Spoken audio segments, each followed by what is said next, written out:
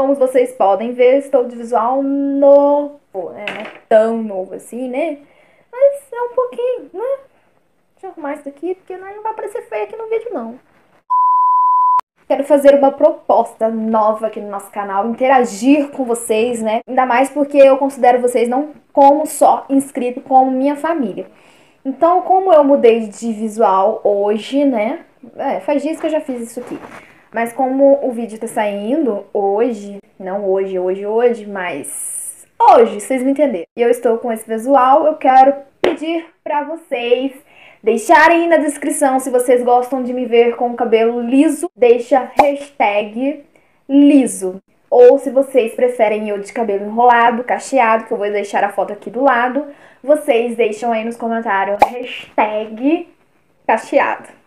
E vamos ver qual que vocês preferem.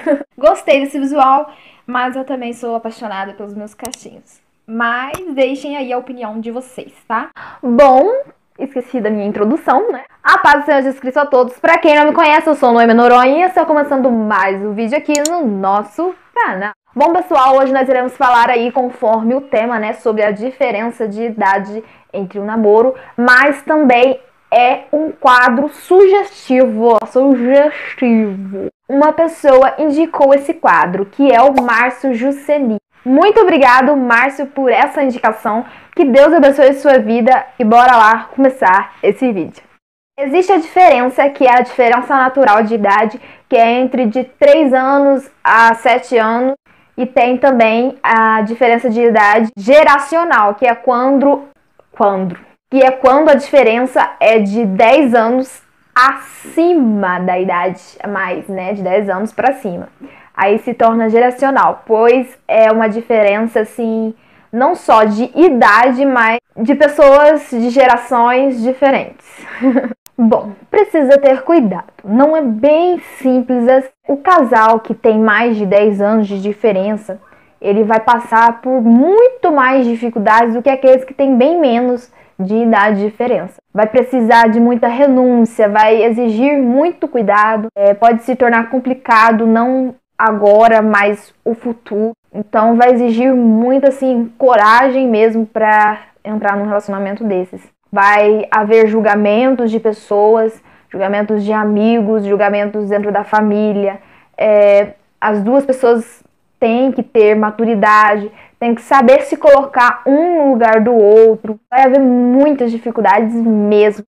E talvez muitas pessoas acabam desprezando isso, né? Mas quem despreza é, tudo isso que está para vir num relacionamento que tem grande diferença de idade, não é muito sábio, não, né? Então vai ser bem complicado isso. O romance é, pode até dar certo, mas o casal ele precisa estar preparado, estar pronto para o que há de vir, porque virão muitos desafios pela frente e não são poucos. São bastantes desafios. Vai exigir a capacidade né, de se colocar um lugar do outro, porque cada um dos dois vai estar numa fase diferente né, da vida, não somente fisicamente, mas emocionalmente, sexualmente propósito de vida, vai ter ambições de vida diferentes, sonhos planejados para o futuro diferente, a maturidade também, sonhos pessoais. E isso tudo pode é, aplicar e estar bem distante um do outro.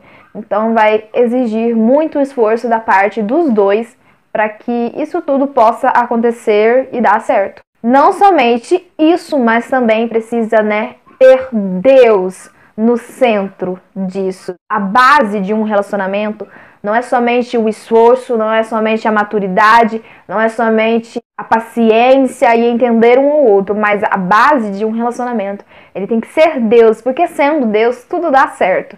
Seja esforço maior ou seja esforço menor, tudo que está dentro da vontade de Deus pode sim e vai dar certo. É, se um dos dois já teve filhos, o filho é, em outro relacionamento, vai ter um pouco mais de cuidado para incluir né, esse filho ou esses filhos dentro desse novo relacionamento. Vai precisar e exigir bastante cuidado. E se uma delas também não teve esse histórico, esse mesmo histórico de ter um filhos ou vários relacionamentos, é, a maturidade em si vai pesar muito nesse momento. Então é bem mais complicado do que pensamos. Pois é, não é fácil que é, a maioria desses casos se encaixe naturalmente. E com o tempo, esses romances não conseguem suportar a pressão e o romance acaba dando mal, super mal no final da história, pois não consegue suportar, né, o que esses romances exigem dentro, né, tudo isso sobre maturidade,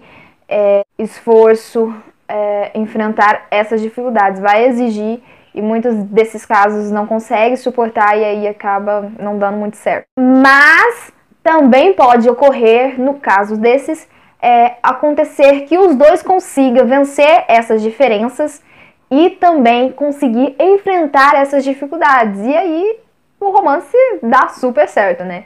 Até porque quem tá, tá no centro da vontade é Deus. Deus tem que ser o centro. Sendo o centro, vai dar certo. Vocês vão conseguir vencer. Porque também a espiritualidade do casal vai contar muito, muito mesmo. É possível dar certo sim, mas é preciso pensar muito bem antes de tomar a decisão no presente para não ter um futuro mal sucedido, com grandes problemas. Então é isso, pessoal. Espero que vocês tenham gostado. Desculpem pela iluminação que não está muito boa, mas eu agradeço a todos por estarem aqui comigo. Que Deus abençoe a vida de vocês. Até o nosso próximo vídeo. Eu esqueci de falar para vocês deixarem um like, comentar nos comentários, compartilhar com seus amigos e se inscrever aqui no canal se você ainda não é inscrito. Até o nosso próximo vídeo. Fui!